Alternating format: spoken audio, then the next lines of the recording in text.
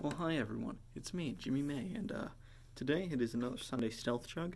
I am in the break room at my library today. Uh, you know, we got a vending machine right there. Well, that's pretty cool. And uh, today I woke up at 6:45 to drive home. Uh, it was about a three and a half hour drive. Not very fun. Uh, so I got a little bit of G Fuel in a Kroger brand water bottle to uh to drink up and get ready for work because it is starting in like a minute.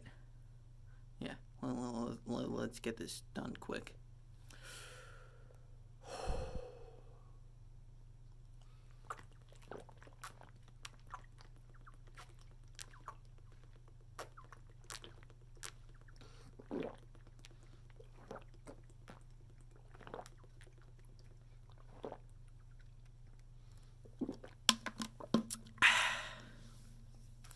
Oh boy, that was ice cold. Alrighty, thank you very much for watching.